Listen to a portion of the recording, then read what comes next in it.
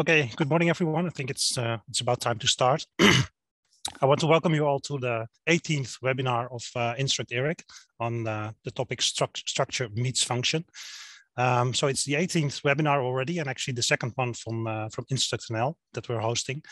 And uh, we're pleased today to have actually three presentations. Uh, we have one guest presentation that was uh, uh, that is Simone, who was actually uh, supposed to present during the previous webinar on uh, hosted by Instruct Italy. Uh, and before we start, I uh, have an announcement and uh, a short introduction on, on Instruct for those people who are joining now but are not too familiar with Instruct.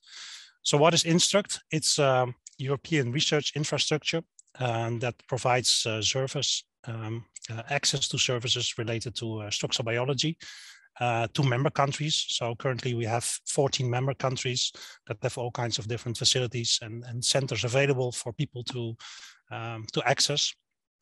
Uh, and access includes uh, research visits, um, internships, um, also training. And uh, I think the maybe the most interesting one is that uh, there's uh, significant funding for, for hosting um, visitors to these, to these sites so if you're interested, please have a look at, at the Instruct website and uh, where you can find much more information. And I won't go too much into detail. And the, the second part is uh, the announcement. um, as many of you may know that uh, within almost a month, there will be the uh, Instruct biannual uh, conference that will be held in Utrecht here in the Netherlands. Um, I've been told that there's still a few seats available. So if you're interested, I would really uh, suggest that you uh, register as quickly as possible. There's a, a great lineup of, uh, of speakers on uh, all different kinds of topics related to structural biology. So, uh, and in addition, Utrecht is a very nice city. And um, so I hope that the last seats will be, uh, will be filled up and we have a, a complete set of um, visitors. So with that, um, I would like to go to the to the to the webinar of today. Um, just before starting, um, one announcement: if you would like to ask questions to the speakers, we will have uh, uh, a, a Q&A session after each presentation. Uh, please type in your name followed by the question in the Q&A. Uh, please do not use the raise hands or the chat for for any of these. Um, so please type in your questions in the Q&A. and with that, uh, I would like to uh, um, welcome the first speaker. As I said, we have a, a guest speaker, um, which uh, is Simone. Um, Simone Fjordside from, from Aarhus University in Denmark. Um, she performed part of her research in, uh, in the Instruct Italy Center, and uh, she will present today data on the uh, metabolism of um, uh, hepatocytes, and uh, she used in-cell NMR. So with that, um, I will stop sharing and give the floor to Simone, please. Can everybody hear me? And I don't know, just one second. Okay, video is there. And now hopefully you should be able to see um, my presentation. Yeah, we can see it. Okay, perfect. Yeah, but first of all, all of you, welcome and thanks for coming to this presentation of mine. As Patrick said, I went to the Instruct Center in uh, Italy and I'm a first year PhD student. And in the following presentation, I'll be talking about how to use in-cell NMR for doing metabolomic studies. And the title of the presentation is a real-time approach to study cellular metabolism in hepatocytes. And as Patrick already mentioned, it's conducted in collaboration with the Center of Magnetic Resonance at University of Florence, the Instruct Center of Italy. So within the next 15 minutes, I would like to explain to you how I use the in-cell NMR for doing metabolomic fingerprinting. However, in order to reach to this point, I would like to give you a short introduction about bioreactors and what they are, some important points when looking at metabolomics, and then how the in-cell NMR uh, bioreactor is constructed, and then of course, finally, how I use the setup in studying metabolomics of the hepatocytes. So first of all, a short introduction. And what is a bioreactor? In this particular setup, the bioreactor is actually a core element. Um, so in a definition, when you take a bioreactor, it refers to any manufactured device or system that supports a biological active systems. So this means that the bioreactor could contain, for example, enzymes, it could contain microorganisms, mammalian cells, etc. And in my case, it will contain mammalian cells. Um, so in order to design this appropriate bioreactor for maintaining the viability of the mammalian cells, it's important to optimize the physiological and chemical environment for the mammalian cells. This means that it's important to look at the cell growth, the metabolism of the cells, the genetic manipulation, and the protein expression or other types of expressions, etc. As all of these parameters are needed in order to understand the cell's requirement on their physical and chemical environment. It might also be necessary to control and optimize the bioreactor environment via operating variables, like for example, flow of the of the medium through the bioreactor to favor the desired uh, cells and their conditions. Furthermore, bioreactors come in many different sizes. From industry, it's thousands of, it can be up to thousands of liters.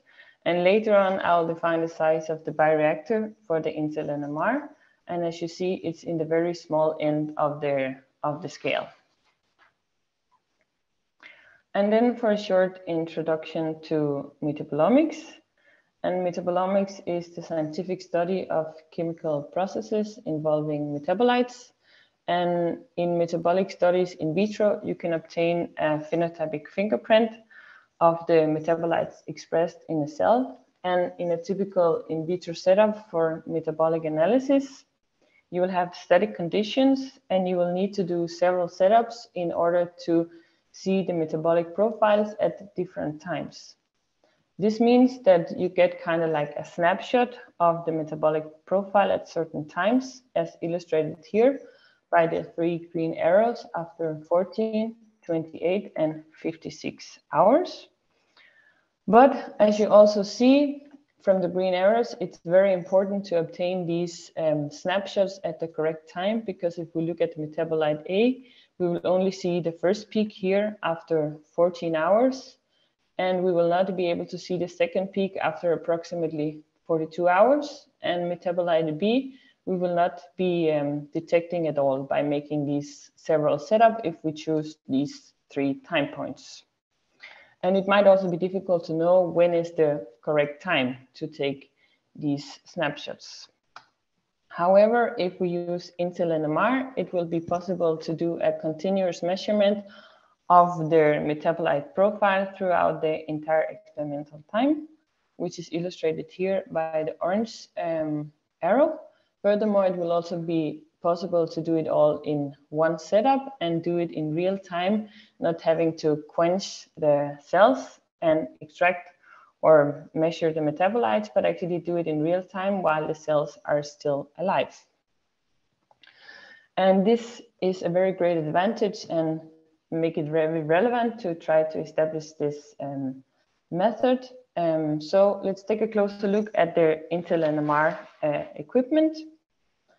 And the in-cell NMR equipment was the equipment that I went to Un University of Florence Center of Magnetic Resonance to learn to use. And as you see here is kind of like an animated figure of how the entire system looks. You have the bioreactor here in the sample chamber and it can be placed directly into the magnet. And if we take a closer look at the bioreactor, then you can see it over here. And you see that the total volume of the bioreactor is 500 microliters, meaning that we have a very, very small scale. And in here we have the hepatocytes encapsulated in the hydrogel. It's kind of like the blurred region. And then we have an orange tube leading into the bioreactor, constantly supplying with fresh medium from the medium reservoir, which is placed outside um, the magnet. In the animation here, you see that the inlet is the green tube and the outlet is uh, the blue tube that goes into waste.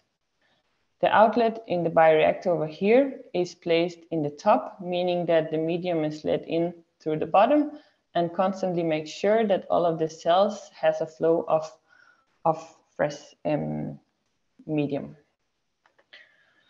So with that said, we have kind of like established a background knowledge for seeing, okay, what is required in this um, particular setup. And we all know that in order to obtain proper and reliable results, we need a very um, stable and good experimental setup. So my experimental setup was that I did, first of all, I prepared their hepatocytes. And when the cells were ready, I encapsulated them inside the hydrogel and I placed it in the NMR tube. Then I assembled the NMR tube to the entire in-cell NMR uh, bioreactor system. And it made it possible for me to place the bioreactor inside the NMR spectrometer and record NMR spectra. And then, of course, in the end, I wanted to see, okay, did I actually manage to maintain my cells alive by determining the viability of the cells at the end of the experiment. And now for some of the results that I obtained um, throughout the visit at uh, Center of Magnetic Resonance. And first of all, I did a pre-study in which I wanted to, of course, determine the viability of the hepatocytes directly following encapsulation in the hydrogel. And for determining the viability of the cells, I used Trypan Blue. And Trypan Blue, as you see here, the molecule is a dye, which when cells are alive and viable, they have intact membranes, meaning that Trypan Blue is excluded and are not able to interact with the cells, whereas cells with um, non-intact membranes, there the dye can go in and interact, meaning that the dead cells will appear blue. So what I did was, as I told you before, I encapsulated the cells in the hydrogel. And then after that, I applied the Trypan Blue assay, it might be a bit difficult for you here to see that there's actually a hydrogel with cells and that the hydrogel here is covered with PB, around with PBS as it's not assembled yet to the um, in-cell NMR equipment, meaning that all of it is, is transparent. But as you will see here, where I took out some of the slices from the hydrogel uh, and applied the Trypan Blue assay, we have very few blue uh, dots, and you can also see a few here, meaning that I was actually able to keep up the viability of the cells, and therefore I could proceed with assembling this uh, NMR tube in the next setup to the in-cell NMR uh, bioreactor. So that was what I did. And in this case, I have um, kept the cells inside the bioreactor for 48 hours. You see here after zero hours and after 48 hours. And then I wanted to see if I was able to record spectra throughout the entire experimental time.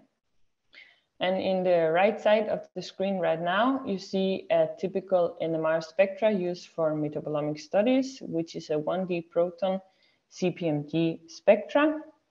And I managed to collect spectra approximately every second hour throughout the entire experimental time, meaning that these the spectra that you see here is actually an overlay of all the spectra collected within these 48 hours. And these spectra are basis for the analysis, which you will see in the next slide um, here where I did a PCA analysis on all of their collected 1D CPMG spectra. Over here, you see their intracellular metabolites, and in the right side, you see the extracellular metabolites, meaning that it is from the waste that has been through the entire system. And as you see here, there are a difference between each time point, starting here from a approximately experimental hour one, until experimental hour number 46. And as you see, there's a clear difference over time between all of the spectrum, which is kind of like a good thing because it means that it's possible to observe a difference over time in the in-cell NMR setup using these standard metabolomic um, spectra. Furthermore, in the extracellular metabolites, the PCA plot also indicate a difference. More clear difference is seen down here in the bottom. And the time, the point up here, 0, 0.0, is actually the vehicle, meaning that this medium has not passed through the bioreactor comparing to the rest of the points which has been through. And then of course, now that I was able to see a difference, I also wanted to see, okay, am I actually, are the cells actually alive following the end of the experiment? And therefore, again, I applied the Trypan Blue assay. And this time I applied it to the top, the bottom, and the middle part of the reactor. And the bottom part is closest to the inlet, whereas the top part is closer, closest to the outlet of the medium. And again, cells appear gray if they are alive and blue if they are dead. And as you can see, the viability of the cells is maintained in the bottom of the reactor where we have a lot of gray, meaning alive cells, whereas the viability is highly decreased in the top and in the middle part where the majority of the cells are seems to be dead. So this means that, of course, the cellular viability it's very important to try to um, improve it and some optimization is needed. So to sum up the results that I managed to collect when I was in Florence is that I managed to establish an in-cell NMR bioreactor with hepatocytes. And I also showed that it's possible to continuously record 1D proton CPMG spectra throughout the entire experimental time. And hereby, when their cellular viability is improved, to be able to follow the metabolic fingerprints of the cells over time. And of course, that I need to improve their cellular viability in order to have their proper and more stable setup. And finally, I would like to thank the research group of Professor Lucia Banci at Center of Magnetic Resonance, University of Florence, for having me as a visiting PhD student and for collaboration with the research presented here. I would also like to thank especially Enrico, Dr. Enrico Luchinat and Dr. Letizia Barbieri for help and collaboration with experimental work and NMR. And then I would like to thank my supervisors, Andrew Bernie and Frans Mulder. And of course, Instruct ERIC and iNEXT Discovery, whose support benefited to this research. And that's all I had for you today. And now I would like to hear if any of you have some questions. Thank you very much, Simone. That was a very nice presentation. I think very clear, uh, especially for people like me who are not very familiar with NMR, uh, let alone in-cell NMR. Um, so I noticed already one question in the Q&A, but maybe other people will type as well. So maybe I can start with one question. Um, of course, there's a lot of optimization to be done. Um, so I was wondering, you start with hepatocytes. Is, is there a reason for, for these type of cells to start with? Are they more stable, or is it the the, the, uh, the metabolism that, that's interesting to study? Um, it's their metabolism that is interesting to study, and it's because of the bigger background, kind of like for my um, PhD, and therefore I chose this particular cell line. Yeah. yeah. So there's a, one question in the, the Q&A. Um, how do you distinguish between intra and extracellular metabolites? So the intracellular metabolites are from, if I go back to the um, here, the setup, then I don't know if you can see my mouse, I guess you can. So what I distinguished here was that the in intracellular metabolites is those where I measure directly on the, um, the bioreactor inside the magnet. And then the extracellular metabolites there I take from the waste. So basically it's without um, the cells. So it's taken from here. And then it's measured in a separate NMR machine afterwards. Okay. Yeah. Yeah, that's clear. We got another question from uh, Michal. um, can you actually distinguish between any metabolites? And what about the signals from the hydrogel?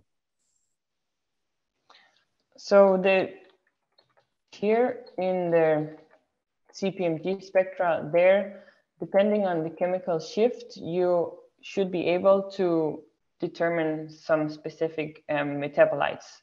And then of course, there can be regions in the spectra around here where some of the metabolites might be overlapping.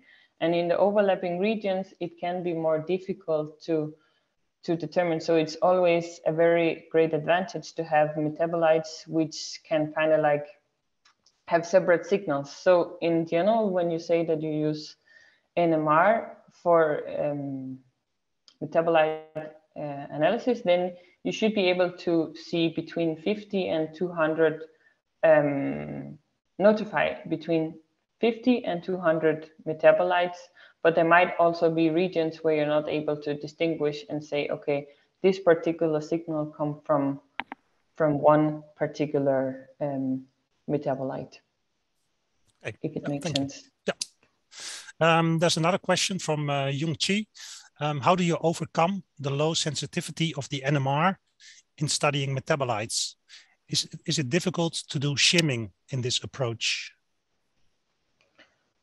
Um, so I try, as you can see over here in the in the bioreactor, to kind of like make it very like dense. And of course, when you have a hydrogel which have some kind of flexibility, you you want to, of course, make it as stable as possible. And that's also kind of like why you have it very highly densely packed uh, in a quite uh, small vo volume. So I try to kind of like see if there's a difference um, between the beginning and the end. But we didn't observe any difficulties in doing the shimming as long as you do it first the 1D and then the 3D shimming, we, we couldn't observe there there was a particular difficulties. Okay, thank you. Um, Another question from Audrey. Um, can you use in-cell NMR to test different media and distinguish differences based on carbon or nitrogen resources, for example? Um, I mean, yes, you can take, for example, some medium. I would say it might be maybe easier with carbon because there you can easily order medium from mammalian cells without, for example, glucose, and then you can add the glucose separately to the medium afterwards. And it can be, for example, enriched with carbon 13 uh, glucose, and thereby you can be able to measure their carbon 13 uh, as well. Okay, thank you. And I think we have a final question. Um, but there will also be signals arising from the extracellular metabolites, right? I mean, you, you measure them separately, like you explained, but still of course, you measure them as well as they are in the NMR tube. Yeah, there can be also as well signals in from the extracellular, and that's one of the very interesting things to kind of like see if it's possible to make a um, use, for example, something paramagnetic or anything. So kind of like you can exclude or distinguish between extracellular and intracellular um, metabolites, and that's also something that is in for optimization. Okay, very good. Um, so Simone, I want to thank you again for the nice presentation and, and your clear answers on this. Um, and then we move on to the to the next speaker, um, who is uh, Kristina Ganzinger. She is uh, here from Amsterdam, the Netherlands. She's from the Physics Institute AMOLF, and um, she joined uh, AMOLF a couple of years ago, as a, starting as a group leader here. And uh, I've been in contact with her because she actually accessed Instruct to, uh, to produce proteins uh, at our protein facility here in, uh, in Amsterdam. And Kristina today will tell us about um, uh, cell membranes and uh, actually assembly of uh, interleukin receptors and uh, also the interplay with, with the, the, cytokines that interact with these receptors. And she will also um, yeah, describe how this influences the, the cell membranes. And for, for this, she uses a, a high-end microscope and uh, actually one that she uh, she built herself. And if I'm correct, she will actually also give us a, a glance on uh, how she actually designed this microscope. So uh, with that, uh, Kristina, please, the floor is yours. Thank you, Patrick. Thanks for that uh, nice introduction. And thanks to everyone for attending and having me in this seminar series, even though I'm no structural biologist. Um, I will talk today, as Patrick mentioned, about reconstituting um, signaling proteins, interleukins, in membranes, at least um, how far we got there, and also mention, of course, on the way, the fantastic support we had from Patrick via Instruct. So in my lab at AMOLF, we are really interested in how information is processed in immune cell communication on the molecular level. So ligand receptor interactions and how that then kicks off signaling cascades inside the cell. And uh, since most of these um, interactions happen at cell-cell interfaces, we are working with um, a particular model system whereby we replace one of those uh, cells, um, mostly the ligand-carrying cell, by a supported lipid bilayer system in which we reconstitute cell membrane uh, proteins, cell surface receptors. And then we can study the contacts that immune cells make with these membranes with high resolution microscopy to look at, for example, a distribution of molecules. Uh, here you can see that the big phosphatase CD45 is excluded from cell membrane contacts, for example, as signaling progresses. And uh, on the right side in the video, you can see the recruitment of individual downstream adapter molecules to activated cell surface receptors, in this case, the T cell receptor. And um, today, though, I will mostly focus the, on the line in my lab where we work with fully bottom-up reconstitution approach, where uh, the big goal would be to really reconstitute um, the signaling pathways in vitro. Um, but of course, at the moment, because this is a very complicated thing to achieve, we focus mostly on either the intracellular or the extracellular side. And today I will tell you about some work on interleukin signaling, where we reconstitute uh, the active domains in the membrane and study the kinetics of the molecules using single molecule um, microscopy and single particle tracking.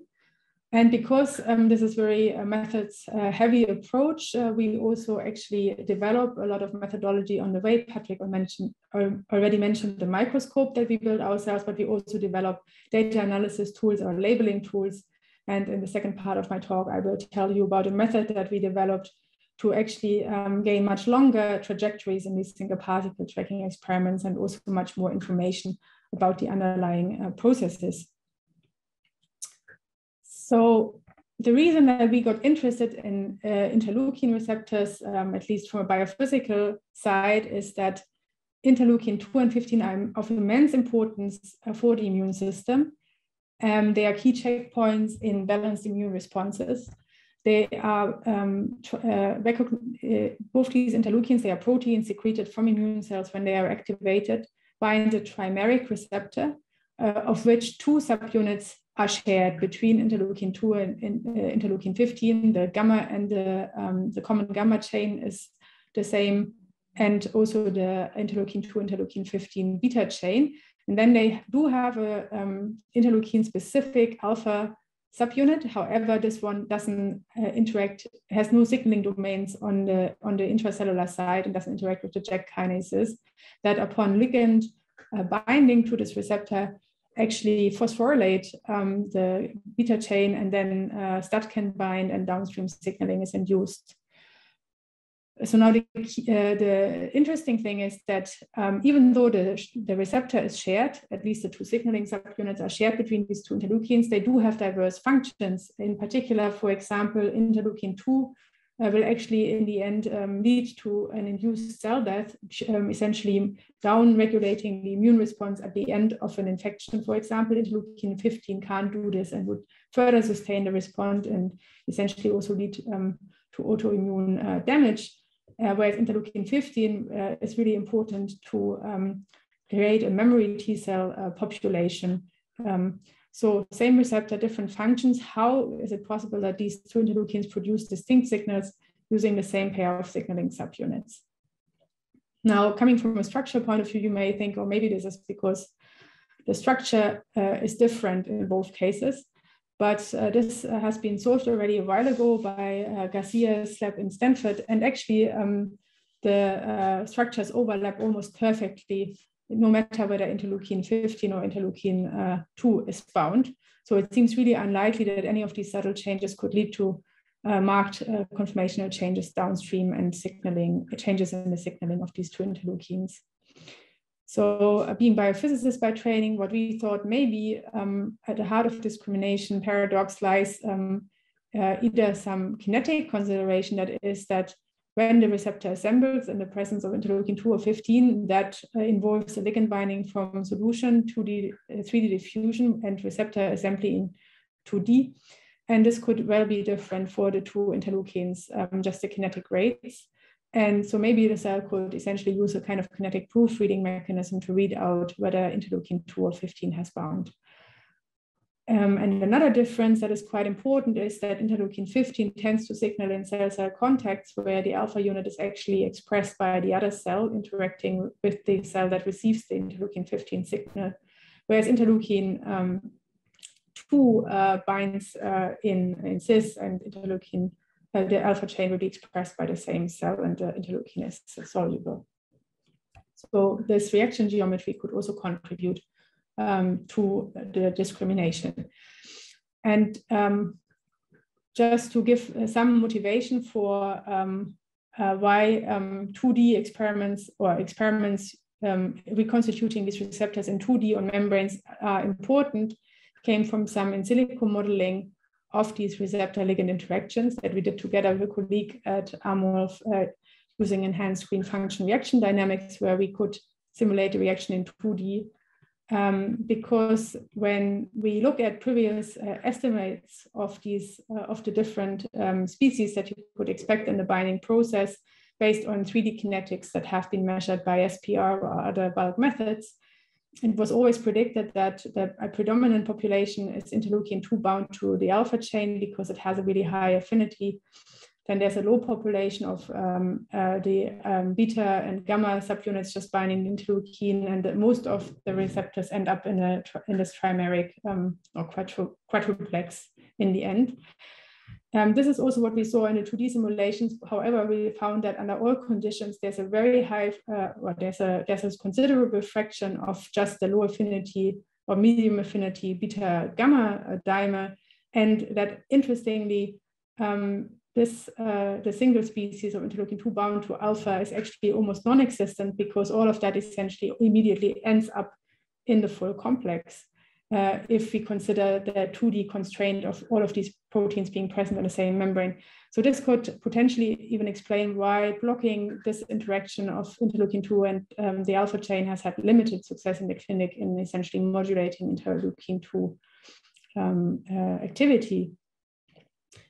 So the um, system that we want to use to experimentally test these predictions consists of supported lipid bilayers that we make on class cover slips and in which we essentially reconstitute the active domains of the interleukin receptors and then we can measure binding of interleukins from solution uh, or also interleukins bound to lipid vesicles stimulating another cell and follow um, the reaction with um, really on a single molecule level having all the receptor subunits labeled um, analyzing trajectories um, for overlap and binding, uh, extracting kinetics uh, from these trajectories. But for that, for of course, we first have to make the proteins and, and the membranes. Uh, we have to have a microscope that allows us to have the resolution that we need to dissect these images um, or to get the signal from the individual molecules. And then, of course, we have to measure and analyze.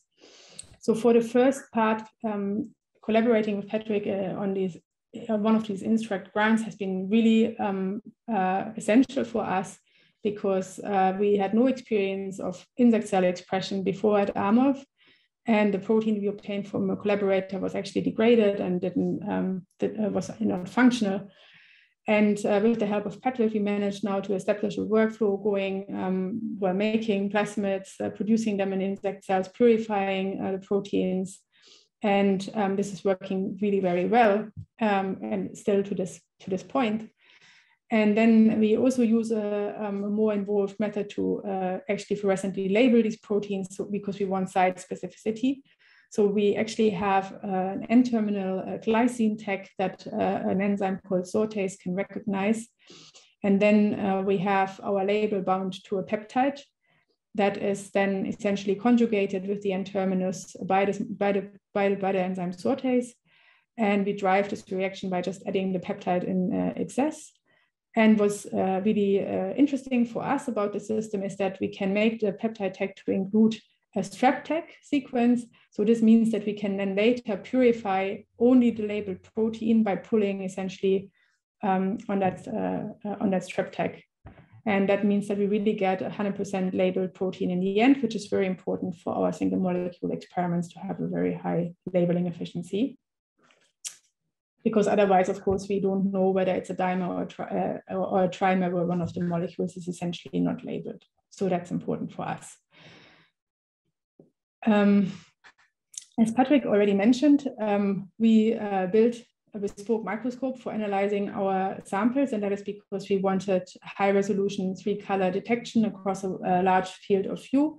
And uh, we also had a challenge, we gave the challenge to the student to build a setup for the uh, minimum amount of money possible, but still with the maximal achievable specs that are currently at least um, uh, kind of thought to be achievable uh, in the community.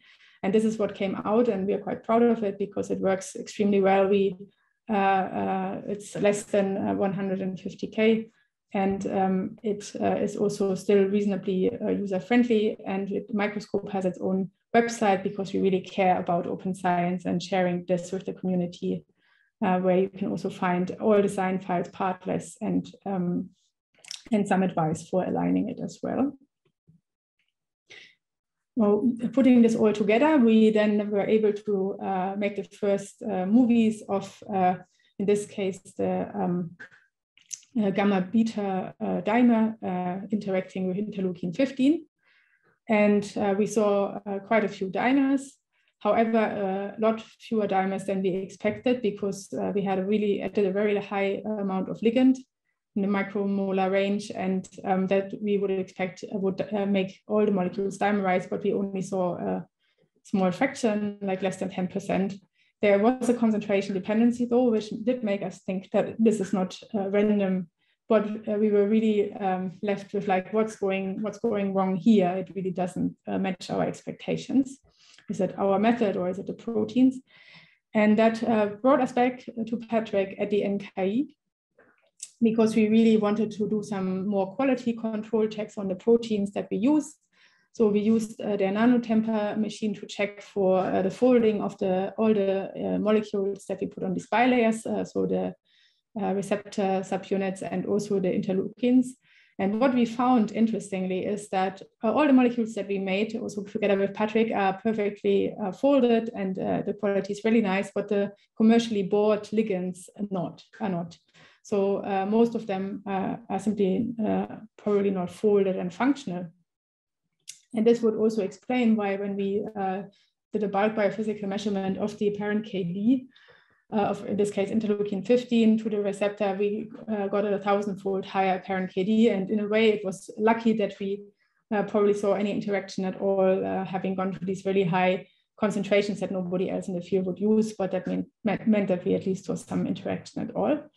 So now, of course, the idea is to essentially um, improve the ligand quality. And in the first instance, we just bought it from a different supplier, and we really hope that this will solve our problem and will allow us to test the model I presented to you earlier. So with that, uh, I want to change to the second part of my talk, uh, but more technical uh, part on single particle tracking. And um, as you saw from the previous slides, like we detect interaction by essentially monitoring co-diffusion of two molecules together. That's, that's our readout for molecular um, binding. And in order to do this with a really high accuracy and statistical, um, high statistical um, uh, uh, yeah, quality, um, we do need long trajectories actually to distinguish chance encounters from real um, events. And also, of course, the length of the trajectory will decide um, uh, on the time scale that we can resolve with our experiments. So this was for us at least the major driver to think, rethink about single particle tracking and how we can generate the, the longest trajectories possible. And uh, traditionally, um, the, this is the, the reason that this is at all a problem is that we use fluorophores for labeling for these experiments. And um, they always photo bleach, and that gives us a certain photon budget per dye that we can spread out over time, but we obviously need to detect, still be able to detect it. So that gives us a limited amount of observation time per molecule. And the only way currently around that problem is to use some uh, uh, a tool called quantum dots, which are essentially uh, a big, um, like mineral-like um, aggregates that uh, never bleach and they continuously emit, but they are very large and they are extremely difficult to functionalize monovalently. So they can cross-link uh, your molecules of interest, which is of course absolutely not something you want in the case of studying protein interactions. So we came up with a DNA-based approach that size-wise sits in between like labeling with an um, protein, uh, fluorescent protein or organic dye, which will bleach, but has, um, because of a neat design principle, almost anti-bleach properties, as I will explain in a second. So as I already said, if you label with a single dye, this could also be a fluorescent protein, doesn't have to be organic dye. We really get a fixed window of time until the molecule bleaches, and then it's just invisible for us, um, and it will never recover. And that's usually on the time scale of seconds with some anti-fade agents, maybe half a minute, but that's really uh, the maximum we can push it. Now, what we came up with together with some collaborators at the Max Planck Institute in Germany, uh, Ralf Jungmann and Petra Schwille, um, is a method based on a super resolution imaging approach uh, called DNA PAINT, where the label that we add to our protein is a long strand of DNA that is in that is itself not labeled with a fluorophore, but that's shorter imaging strands labeled with fluorophore can bind to.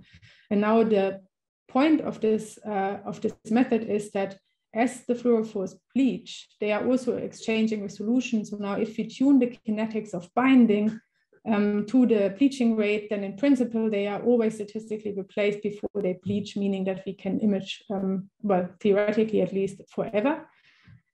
And um, in, in any case, this should greatly increase trajectory lengths. So now the question, of course, is does this work? And um, I guess I wouldn't be giving this talk if the answer was no. So uh, as I said before, if we image fixed labels, then at least on a time scale of two minutes, um, essentially all uh, molecules are dark. Whereas if we label with this new DNA PAINT method, uh, we can still image the same number of molecules after 30 minutes. This is a case where the sample that we chose for um, just for testing the method was static. And that's why we can really go up to half an hour the moment the sample is mobile. We are now no longer limited by photo bleaching, but we are limited by the accuracy of connecting um, spots across frames and tracking the motion, which uh, gives us a slightly lower uh, uh, resolution, as you will see in a second, but it's still much better than uh, fixed labeling. So how much better is it exactly in terms of numbers? So we did some quantification to calculate the mean uh, trajectory length.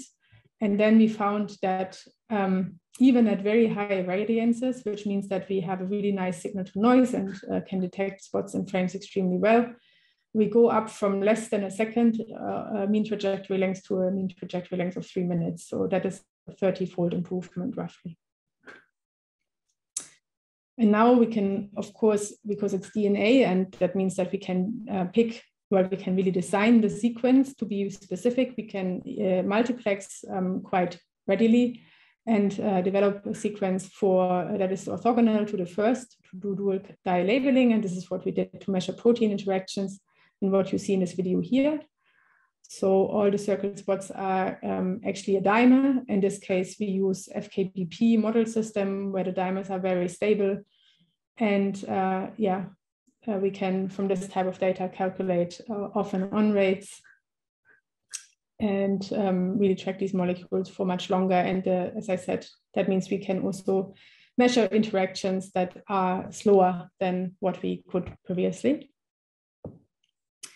and maybe not so much of interest to this community, but of course, something that people have always asked us, okay, this is great. Does this also work on cells? Like if I would like to study the motion of receptors in, in cell membranes rather than artificial membranes.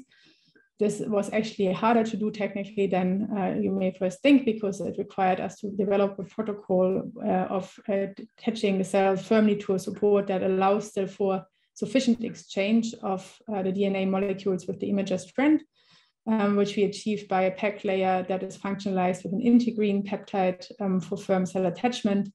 Uh, we also had to um, find suitable fluorophores that uh, produce less unspecific binding. But uh, after all these optimization steps, we can now actually track molecules on cell membranes with these or receptors on cell membranes with this method as well. And we are currently working on our first two um, color data in cells. And this is uh, just a visual impression, like to see that after two minutes uh, in the DNA PAINT case, we can still nicely um, follow motion across the entire um, uh, visible uh, part of the cell membrane, whereas for single dye labeling, this is not the case. Um, trajectories are on average 10 times longer. This, we think we can still improve this and um, the diffusion um, the diffusion of the of the label is not changed, which means that uh, there is little influence, even though there's a long strand of DNA, the influence is quite limited on the uh, on the receptor motion and interactions. Um, so we think we now have a really nice protocol for improving single particle tracking in multicolor experiments, both in, in vitro and in, and in vivo. And we hope to publish this soon. So with that, uh, I really want to thank my group uh, for uh, all the work they put into this, in particular Chris, who's been a main driver of all the experiments I've presented, and our technician Elisa, who also worked together with Patrick on the uh, protein purification. Thank Patrick for all his input um, on protein-related issues. It's been a pleasure to work together. My colleague Pieter Rein for the simulations, um, my colleagues in, in Munich, Petra Schwille, Johannes Stein, and Florian Stehr for this DNA tracking um, uh, uh, project that I presented. Um, and uh, yeah, if you uh, know someone or yourself uh, are interested in TIRF microscopy and may want to build one one day, then please feel free to get in touch for advice or just visit our uh, GitHub page for blueprints and protocols and analysis code as well. And with that, I would very much like to thank you for your attention and I'm happy to answer any questions that you may have. Thank you.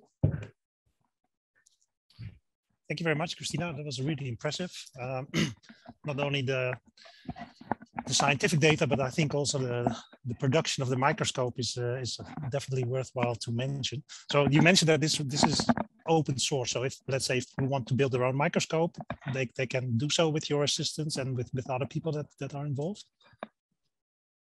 Uh, yes, I mean, of course, you still need uh, you still need to buy all the components, and it's still. Sure. I mean, cheap doesn't mean cheap. I mean, as I said, it's like around uh, 120,000 uh, euros um, worth of components. But then I think uh, with the, if you have someone who has some understanding of optics, um, they should be able to, and, and a workshop that uh, can make certain parts for you from the technical drawings that we provide, then I think it should be at least a lot easier and a lot faster than if you had to start from scratch. Uh, and maybe I have one question. So I think indeed uh, what, what you showed on the the, the, the new and the, the DNA PAINT, I think it's a, it's a very nice technique and probably this will help you in, uh, in the future. But like you mentioned, there's, there's of course other issues like uh, that you may encounter, like for instance, the, the, the proteins, the, the IL-2 and IL-15 uh, that apparently are not properly folded and that causes issues with, uh, with the results. So, so do you have an kind of solution for this? Is the plan to maybe look for new uh, distributors or maybe produce the proteins somewhere else or yeah, so my, our main uh, our main idea is to actually buy clinically created ligands because both of those are actually used uh, for treating patients and they undergo much more rigorous uh, quality checks, of course. So we for for now hope that that will solve our problem. We do know that we can. I mean, they can be made, uh, of course. I mean, otherwise the companies wouldn't be able to sell them, but they are also difficult to make actually, and uh, we know that. Um, that we probably would have to spend quite some time optimizing this. So we can do that as a second step, or we would do that as a second step, but we would first prefer to uh, hope to find a commercial provider that is um, so provide sufficient quality. Uh, but I think it's actually, I mean, I was really, I was actually surprised in a way because I guess I was very pessimistic, thinking it's just us who can't make good proteins. But it's just a nod to say, actually, I mean, uh, uh, commercially available proteins are not always what they promise to be. Uh, I think that is a good reminder for people like me who sometimes thinks this is a shortcut. Maybe it's not a shortcut at all, and it's really worthwhile investing time and and using expertise available in networks like Instruct ERIC um, to set it up yourself in your lab. And that, yeah, that is really something that I value even a lot more now, having seen this data than before. Yeah, I know, for instance, that uh, because of course you're using the, the human IL-2, but I know that, for instance, the mouse IL-2 is apparently much more easier to produce. Um, so I'm not sure if that could be uh, something to, to check. I don't know how that would react with these these human receptors. Uh, yeah, I think that uh, that in that case you would probably want to switch to the mouse receptors as well. I think that there is a difference. Um, and particularly for all these biophysical parameters, it really doesn't make sense to measure between interspecies, I, I think, unless you have a very good reason to do so. But um, but that could be definitely also uh, uh, an idea, yes. Um, then switching to the mouse system. And in terms of discrimination, I, I would personally suspect that the mechanism should be conserved, I mean, across uh, species, because I mean, most of these things are quite conserved between mouse and human. So that's so I wouldn't expect any big difference on a fundamental level there. Maybe well on the values, but not on the method uh, itself. Um, so I see we have two questions in the Q and A. Um, so the first one um, compliments you with the nice work. And how does the dye affect membrane interactions? So I guess the dyes are large and hydrophobic. Are there alternatives? Yes, uh, so they are actually not super large, but indeed they do uh, sometimes interact with the membrane in particular for the more hydrophobic ones.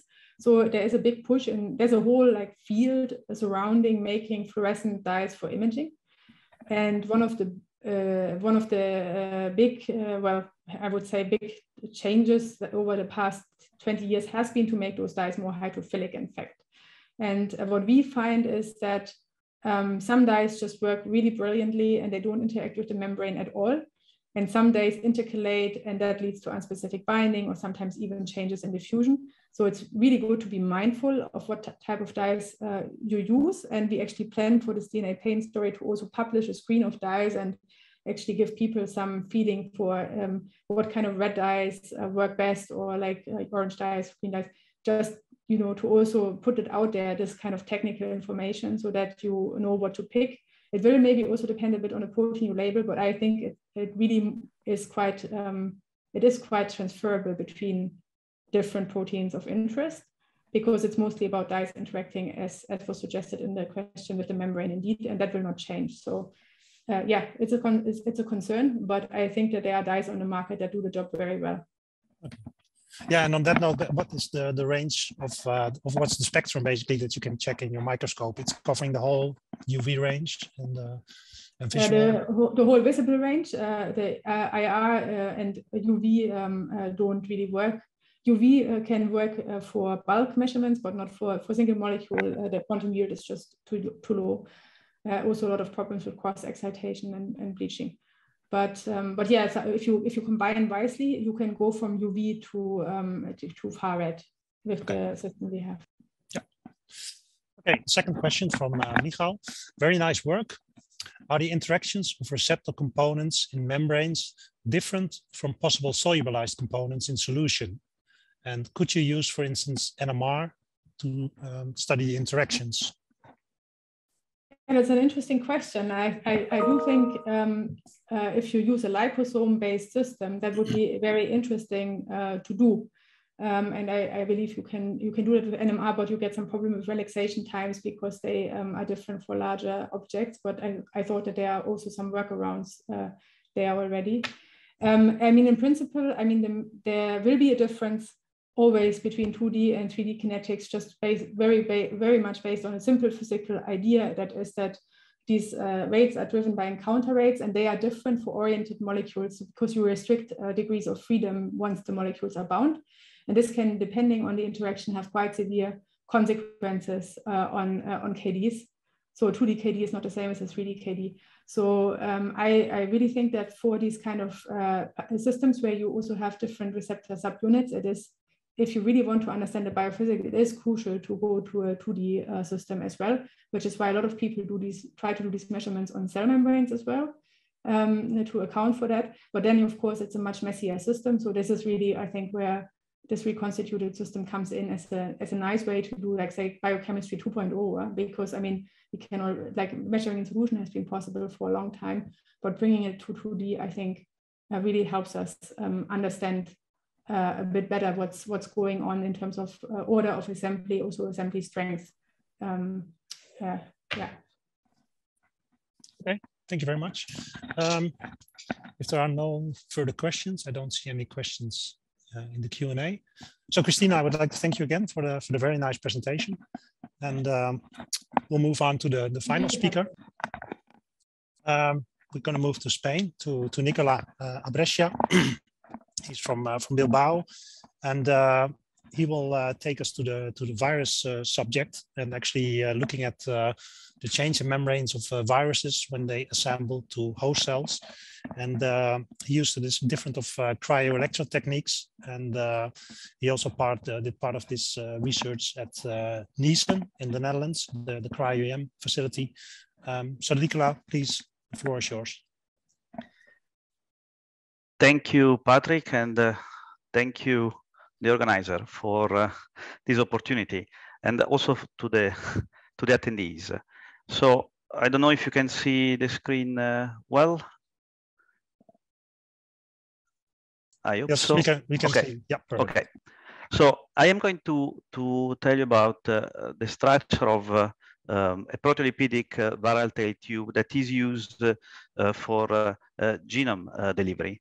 The, the virus or the bacteriophage that we are talking about is a lipid-contained bacteriophage PRD1, which has been uh, um, studied quite in extent uh, and uh, um, by, by uh, mainly two big groups, the Dennis Bamford group and the David Stuart group, respectively in Helsinki and in Oxford.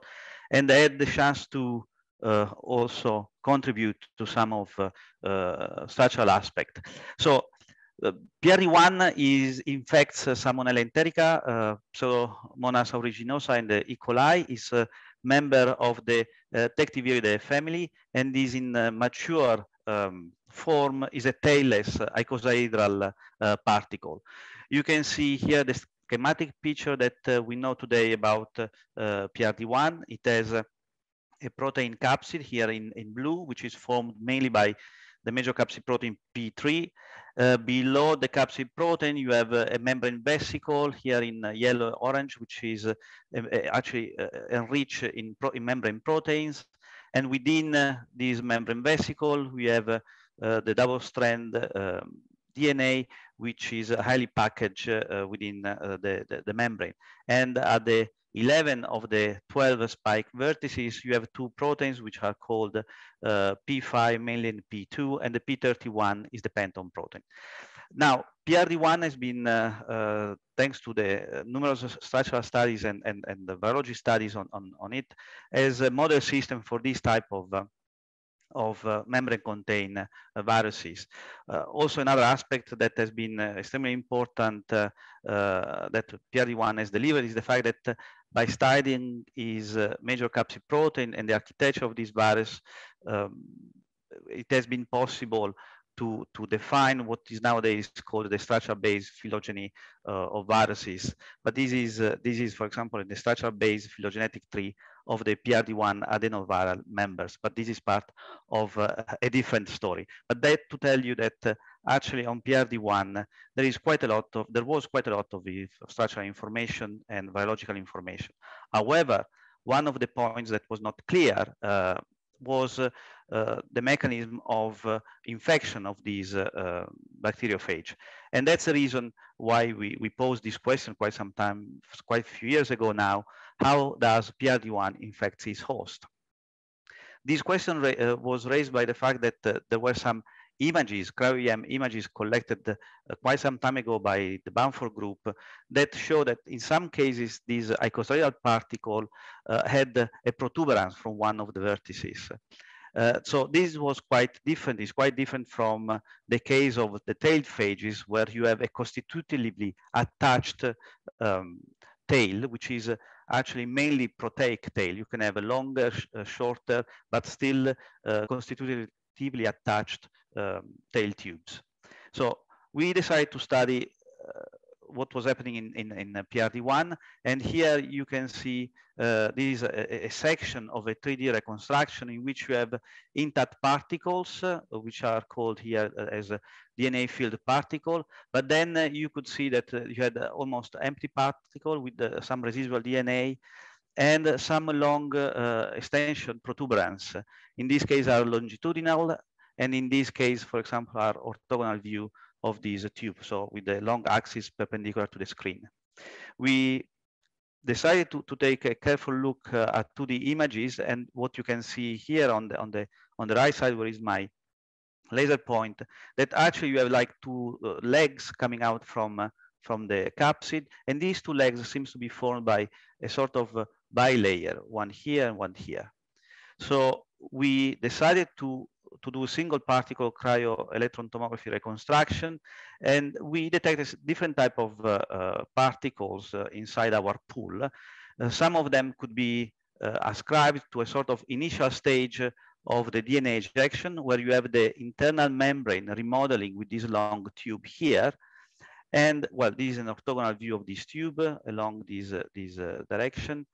And we were able also to see other uh, particle type where the vesicle was uh, very uh, small and we called these this form as a map pin morphology with the, again the long tube here. Uh, these were this is an orthogonal view across these uh, these this section here on the membrane. And we were able to roughly estimate the dimension of these uh, protuberance which had a diameter of about 14 nanometers and the length an average length of 50 nanometers. Now, at the beginning, when we started this and we saw this, uh, this, uh, this structure, we thought that actually maybe uh, it was the DNA to impose uh, this tubular structure because of the highly compressed DNA inside and uh, that would, uh, at ejection, maybe induce this tubular formation. And for this reason, we decided to, to, to have a deeper look. First of all, what we notice is that the presence of the tubular structure um, was also accompanied by missing uh, complexes at the other five-fold vertices. So we look at, uh, at the individual particle imposing uh, as a single particle as a C1 symmetry, but also imposing a 60-fold average um, symmetry, 60-fold um, symmetry. And this tells us that actually these uh, holes that we were seeing uh, along the capsid corresponded not only to the uh, missing part of the pentons, but also to the peripentonal capsomers. So these were coming as a full block uh, away uh, while the tube was formed. Uh, by comparison with the, the wild type virion, so without, and the structure available that we uh, also got by X-ray crystallography a long time ago. We noticed that uh, this decapping of the five-fold vertices was definitely due to the loss of uh, transmembrane interaction at the, four, at the five-fold vertices. The, the, we knew from the X-ray structure of PRD1 that at the five-fold there is a protein called P16 that holds together, let's say, the membranes at the five-fold vertices. When this uh, tube is formed, these uh, uh, interactions are lost, uh, and we believe that is, is, is, is inducing this uh, remodeling of, of the membrane. So as I was saying earlier on, the, the, the initial idea was that maybe was the DNA to impose this tubular structure. So with uh, Dennis Bamford and Anna Oksanen in Helsinki, um, we, we, commented about it and they, they were able to provide us a mutant particle that is called SUS1. SUS1 PRD1 is a particle that doesn't contain the uh, P9 ATPase and so is unable of packaging the DNA. And the, the clear uh, answer by just looking at this particle was that the tube was, was uh, capable to, to, to form even without the DNA. And therefore the DNA had no role in the uh, assembly of the remodeling of the vesicle membrane into a tubular structure.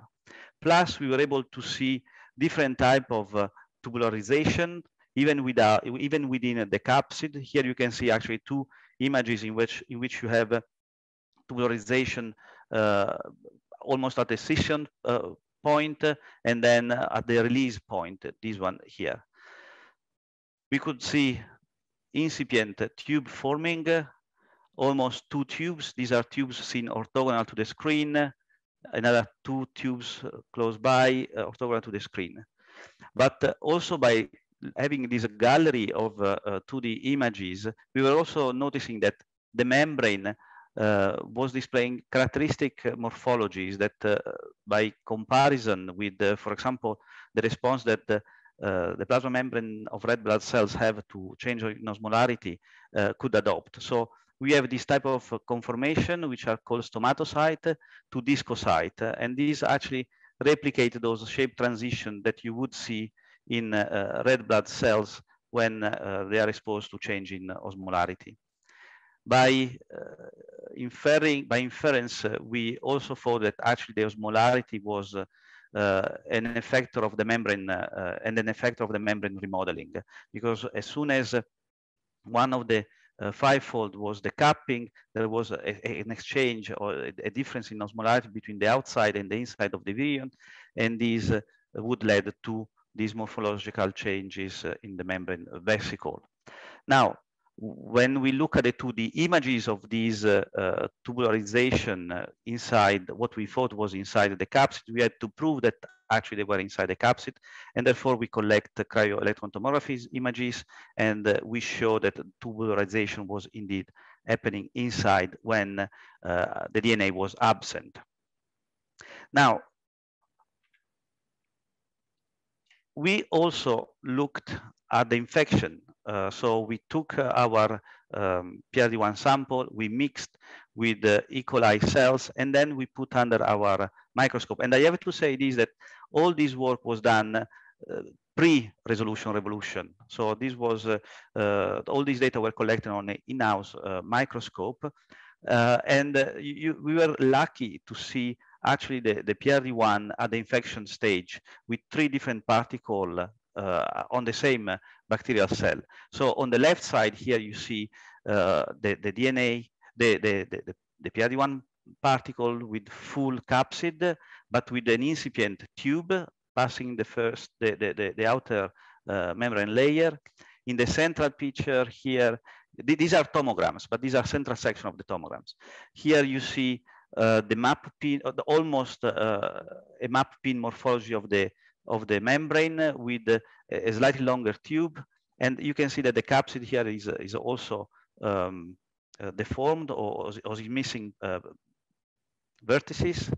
And a third particle, always on the same bacteriophage, shows actually a map pin morphology inside of the membrane vesicle and the long tube crossing the, the, the, the outer and the inner membrane. These are segmentation done onto this volume. We also collect um, EPON embedded uh, section of EPON embedded uh, cells. Uh, and you can see here that the DNA here is, is much strongly stained. And you can also see this darker line crossing in, in between the, the tube. So this was a, a snapshot of uh, uh, the infection process collected through uh, electron microscopy. Then we wondered whether the tube had a structure, and uh, we we did some uh, 2D analysis of the, the top view of these tubes. Uh, of course, we, we didn't have so many tubes for, for the averaging, but from the rotational analysis, we could see that probably the tube has a threefold or a sevenfold symmetry. We have to be cautious here because we, we were not absolutely sure. We are not absolutely sure about um, the direction of this tube. And uh, uh, we, we, we decided to actually deeper this study. However, when we also compared the, the, the, the we perform subtomogram averaging from uh, um, the, our tomograms, uh, in particular for those top views that we observed in the tomograms, we were also able to, to distinguish two different classes that uh, they were not like uh, naked cylinders, but they, they, they, they show some structured um, around the, the, the tube. So this is the orthogonal view for one class. This is another view for another class, and these are longitudinal views. These tubes are different. Now we know that these uh, additional density on the side of the tube correspond to the peripentonal capsomers that decap uh, when uh, the tube is formed and protrude from the unique vertex. These allow us also to better define the geometry and um, the dimension of this uh, tube. So thanks to this work that was pre-resolution revolution, we were able to put forward a, a model of uh, genome delivery, which is shown in this schematic picture here. The, DN, the, the PRD1 particle would bind through his uh, uh, one of the 11 vertices to the cellular receptor, which by the way is not yet known, then would tumble and reorient itself uh, so that uh, from the unique vertex, the tube could form and uh, insert into the um, into into the cell. We don't know yet what is the triggering mechanism for the opening of the tip because there must be uh, a, a portion, in, a moment in which, or a stage in which the tips open and the DNA uh, is shuttled inside the cell.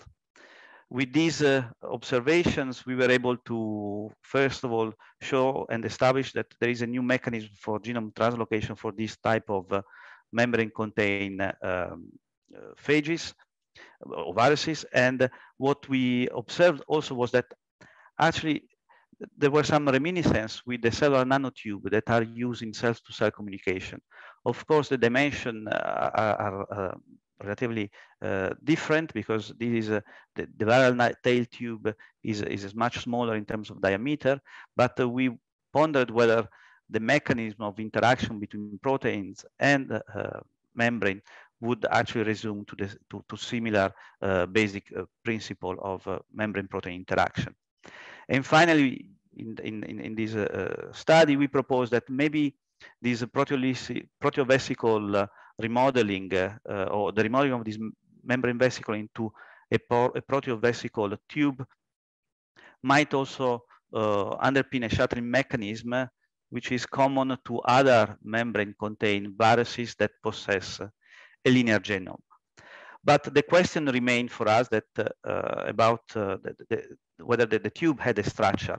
And that is where uh, in 2014, 15, as uh, all of you, all of us now know that there was a resolution revolution, which uh, allowed to look into, with the power of the microscope, allowed to look at much more um, challenging object like the barrel tube, and also with the democratization of cryo-EM, which means that nowadays everybody can use a, a high resolution, a high-end microscope thanks to, to the facility, for example, offered by Instruct. We decide indeed to embrace into the structural determination of the mechanisms of assembly of this proteolipidic tube.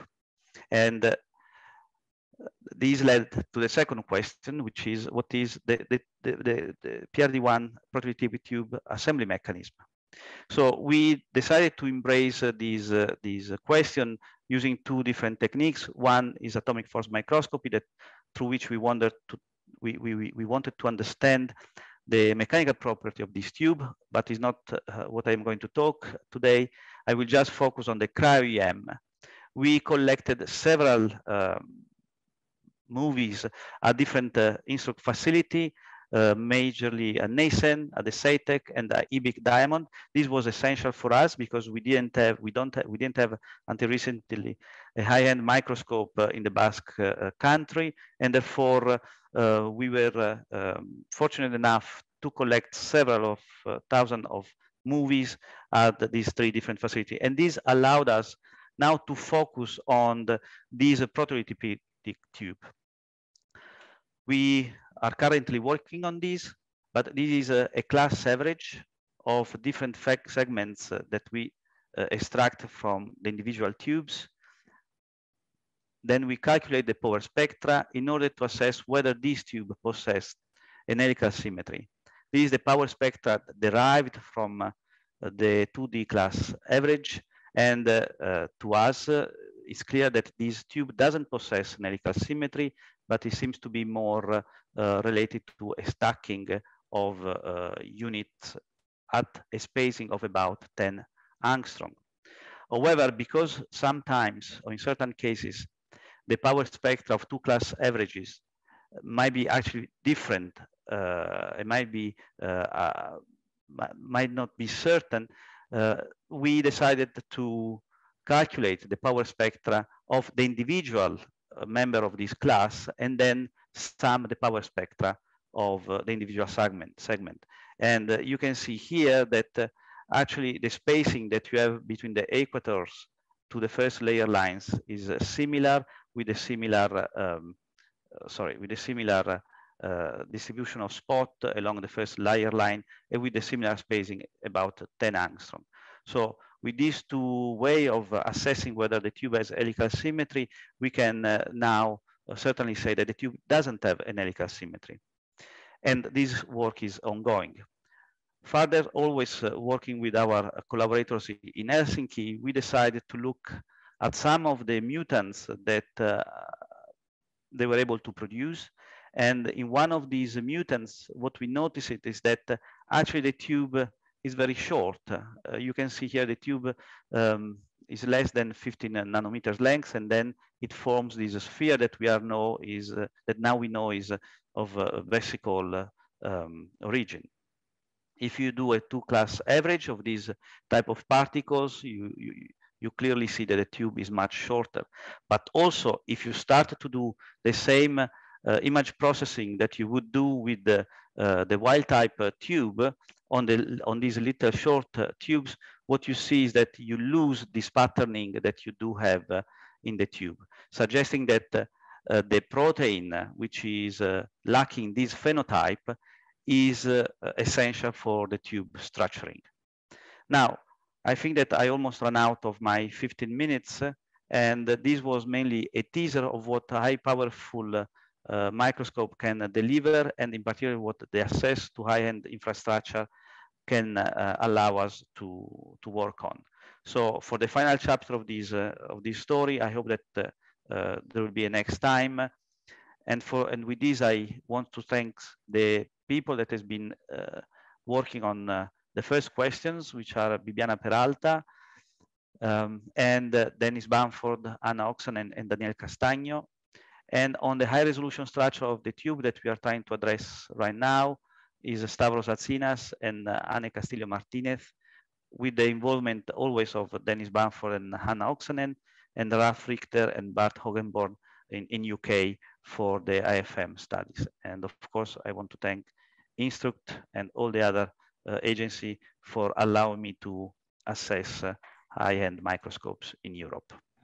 Thank you, and I'm happy to answer any question you might have. Thank you very much, Nicola. Uh, I'm looking forward to your next presentation to see uh, where, where, this is all going to, but this, this was already very impressive, so uh, I really enjoyed it.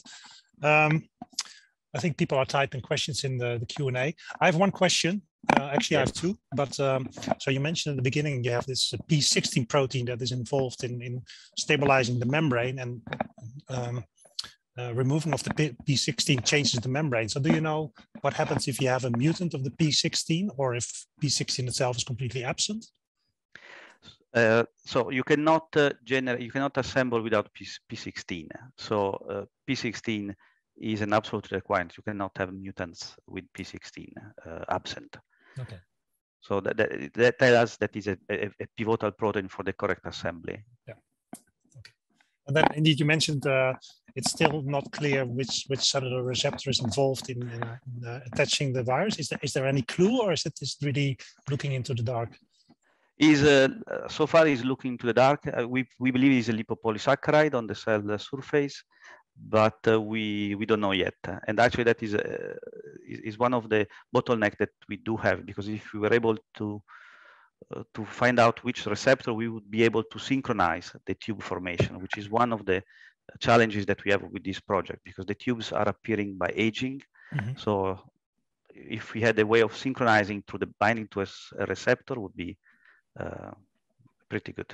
But we are we are working on it. Okay, I can see there's one question so far in the Q&A. Um, so do the individual structures used for tube and capsid assembly convey some information about the mechanisms of interactions during the assembly?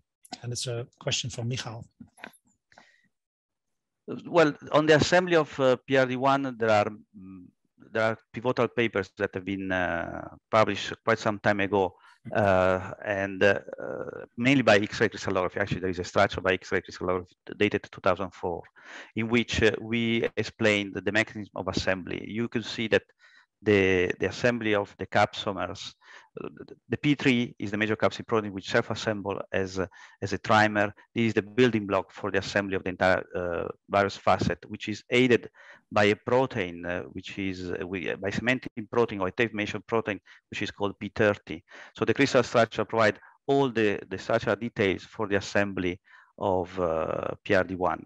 Uh, that's the reason why is it was it is a model system for this type of viruses, and you can see that these uh, players in the assembly can be extrapolated, for example, for larger viruses of the same um, uh, of the same structure-based lineage. Um, I got another question from uh, Julie. Uh, great talk. Does the number of P16 proteins need, sorry, does the number of P16 proteins needed to structure the tube correspond to the number present in the pentagon of the capsid? So I, I am sorry that I didn't explain uh, that I didn't explain myself clearly on this. So the P16, uh, there are five copies per the, per vertex on the 11 vertices. One of the vertices is uh, the unique vertex, and there is no P16. P16 is is uh, is a trans it has a, a transmembrane helix that penetrates the membrane, but the membrane vesicle per se has many more other membrane proteins inside. So P16 is not uh, the protein that structures the tube. Is uh, we don't know yet uh, for sure which is the protein that is structuring the tube. Um, there are candidates, uh, but uh, um, we, we need to make sure that those phenotypes that we see are actually uh, indicating which is the, the, the, missing protein that allow the structuring, but it's not P16. P16, we, we believe is more a membrane protein associated, the, the ones that structure the tube. Okay, thank you. Um, I don't see any other questions, so I think uh, with that we can close this webinar. Uh, not before thanking uh, Nicola and also uh, the other two speakers. Uh, I think it was an interesting uh, webinar. I enjoyed it. Um, one last final announcement again. Um, if people are interested in joining the Biennial of uh, Instruct, um, if you're really quick, you can find the link in the chat. Um, if you want to take it easy, you can also go to the website of Instruct and uh, have a look at the program and the registration. And uh, with that, uh, thank all the participants and uh, hope to see you live at some point. And thanks again. Goodbye.